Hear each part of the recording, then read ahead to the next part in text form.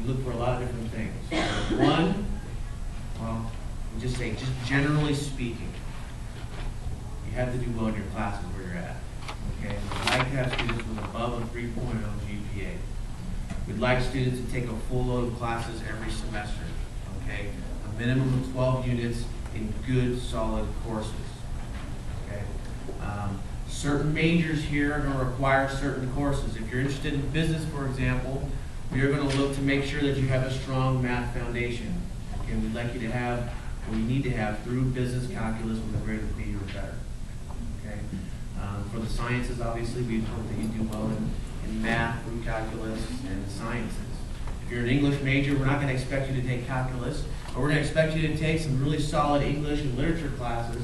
We, we're gonna expect you to be good writers, okay? Um, Film and television is probably the most competitive major here, very, very, very competitive for transfer students, and that is a whole nother issue. If you're interested in that, please see me afterwards, we'll talk about that. Um, any questions right off the bat about uh, transfer process or anything you've heard me talk about so far? Um, does LMU offer any communication journal? We do. Communication studies, again, is, is a very, very popular major. So we've got five colleges and schools here at LMU. You're gonna apply directly to a major when you apply, okay? And it's especially important as a transfer student that you apply to a major, um, that you've taken some sort of class in before, too. Like, you wouldn't wanna apply as a comm studies major if you've never taken an English class, you've never taken a full load of classes, meaning twelve semester units, okay? Um, These are things that I hope to be able to work with you with throughout the process. I would hope that you would contact me before you want to transfer, so we can set up a schedule of classes. We have what are called articulation agreements with all of your schools, okay? Um, These articulation agreements are the best, my favorite tool when I'm counseling students on what it takes to transfer here. Essentially, you've got the LMU requirements, what current students here at LMU are taking, and you've got your college's equivalent course. All right. I was talking to somebody earlier, there's no mystery here. There's no secret handshake. There's nothing that we're gonna keep from you, okay? We wanna be very upfront. It's my job to be very open and honest with what it takes to be here.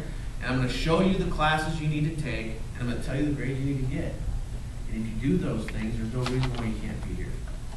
There's no reason, all right? You take those classes, you get those grades, I can practically guarantee you'll be here. All right? Yes, sir. Um, uh, as far as the majors go, do you know if they're going to like, uh, possibly limit or stop majors such as maybe the business law? Um, I noticed in the articulation that from oh nine oh ten, that was, they don't really have the courses for that. And we're working on, on, on revamping those, okay? I will, uh, that's another good reason to contact me direct, because I'll make sure you get the actual courses that you need to take there, okay? Um, now, that brings up a good question, though. I mean, sometimes, for instance, in the spring, you know, generally we take fewer transfer students in the spring. We take about hundred, maybe hundred and fifty, whereas in the fall, we take between 300 and 350 transfer students, okay? Last year, we had a, uh, it was really tight for communication studies majors. Actually, communication studies said, we have no room, we're overflowing, we can't accept anybody.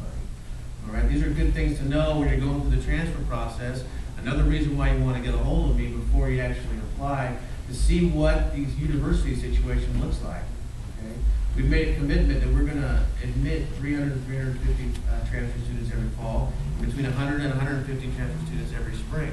But that turnaround in the spring especially is, is kind of tight. And as long as you can expect that and you're aware of, the- of how that whole process works, it doesn't have to be as stressful. That's a good question, because business is pretty competitive. And did you have a question? Yeah,